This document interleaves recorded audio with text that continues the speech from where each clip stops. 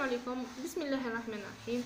أعزائي التلاميذ اليوم جبت لكم اختبار الفصل الثاني في مادة الجغرافيا للسنة الخامسة ابتدائي. كملوا الفيديو الآخر اللي عجبكم ديروا like وما تنسوش تشتركوا في القناة بالضغط على subscribe أو s'abonner وتفعلوا الجرس باش يوصلكم كل فيديو جديد ننزله روحوا التمرين الأول. أكمل ما يلي.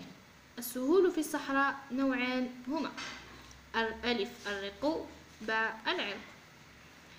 اثنين يتخلل الشريط الساحلي في الجزائر الرؤوس والخلجان.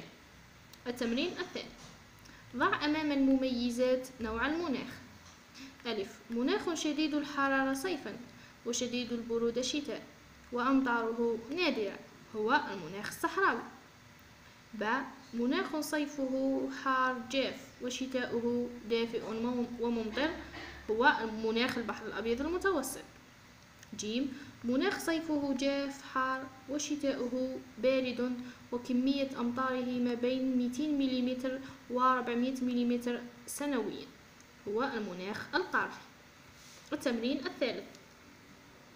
أجب بصحيح أو خطأ.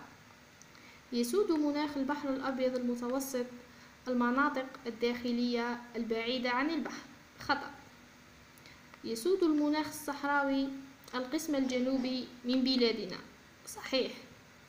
المناخ الصحراوي كمية أمطاره أقل من 200 ملم صحيح. وإلى الملتقى إن شاء الله في فيديو جديد.